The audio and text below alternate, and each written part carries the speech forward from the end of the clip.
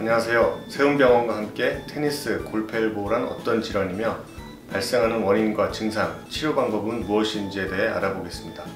먼저 테니스 엘보와 골프 엘보가 어떤 질환인지 알아보겠습니다. 테니스 엘보와 골프 엘보의 정확한 병명은 주관절 외측 및 내측 상거염으로써 팔꿈치 관절에서 시작하는 힘줄이 약해지고 통증을 일으키는 상태를 말합니다. 테니스나 골프를 즐기는 사람에게 자주 발병된다고 하여 이러한 이름이 붙었지만 주부나 컴퓨터를 많이 하는 사람들에게도 나타나기 쉽습니다. 대부분 팔과 손을 많이 사용하여 발생합니다. 팔과 손을 많이 사용하면 힘줄과 근육에 무리가 가면서 미세한 손상이 발생하게 되는데 적절한 휴식 없이 활동이 계속되면 미세 손상이 누적되어 결국 힘줄이 심하게 변성되며 염증도 발생할 수 있습니다.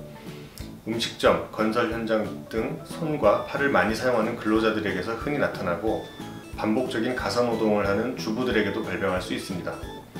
평소 힘줄이 약해져 있었으나 증상을 크게 느끼지 못하던 사람이 어딘가에 팔꿈치 부위를 부딪히며 심한 증상이 시작되는 경우도 볼 수 있습니다. 테니스 엘보의 주증상은 팔꿈치 바깥쪽 통증으로 초기엔 약간의 통증만 있다가 질환이 진행될수록 통증이 심해지게 됩니다. 주로 물건을 들어 올릴 때, 주먹을 강하게 쥘 때 통증이 있게 됩니다. 손목을 굽혔다 펴거나 물건을 들고 손목을 위아래로 흔들면 팔꿈치에 통증이 발생합니다. 골프 엘보의 경우 주된 증상은 팔꿈치 안쪽의 통증으로 누르면 통증이 심하게 나타납니다.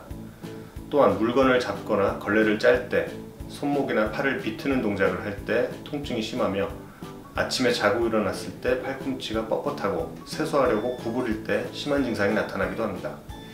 손바닥을 편 상태로 뒤집었다가 엎었다를 반복하는 등의 행동을 하면 팔꿈치에 통증이 나타나게 됩니다. 테니스 엘보와 골프 엘보의 경우 초기에는 간단한 보존적 치료만으로도 호전될 수 있습니다. 물리치료나 약물치료, 체외충격파 치료를 시행하거나 보조기의 착용을 통해 움직임을 제한하는 것만으로도 효과를 볼 수 있습니다. 하지만 이러한 치료를 효과가 없거나 상태가 이미 심각한 경우에는 수술 치료가 필요합니다. 테니스 엘보의 경우 최근에는 관절 내시경 수술을 통해 4mm 이하의 초소형 카메라가 달린 관을 삽입해 큰 절개 없이도 치료가 가능합니다. 관절 내시경 수술은 절개가 5mm 이하로 매우 작아 출혈이 거의 없고 합병증의 위험이 낮으며 회복이 빠르다는 장점을 갖고 있습니다. 또한 카메라로 관절 내부를 관찰하면서 치료하기 때문에 보다 정확한 진단 및 치료가 가능합니다.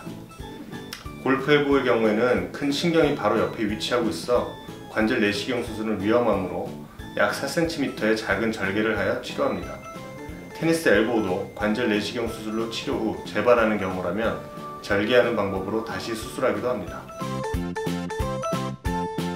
수술 이후에는 힘줄이 어느 정도 재생될 때까지 반깁스 고정을 하게 되고 그 이후에 서서히 관절 운동과 근력 강화 운동과 같은 재활을 하게 됩니다. 수술의 결과가 좋더라도 통증이 완전히 사라지기까지는 약 3, 4개월 정도 걸리는 것이 보통이므로 적절한 관리와 재활이 중요합니다. 지금까지 테니스, 골프 엘보란 어떤 질환인지 살펴보고 원인과 증상, 치료 방법에 대해 소개해드렸습니다. 궁금하신 점은 전화나 카톡으로 문의 주시면 친절히 상담해드리겠습니다.